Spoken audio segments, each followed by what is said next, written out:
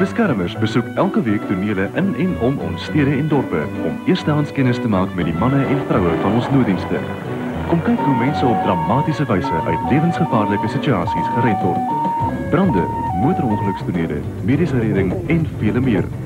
Elke donderdag aand om 09:30 slegs op Kyknet. Die Beskermers word met trots aangebied deur Celsi.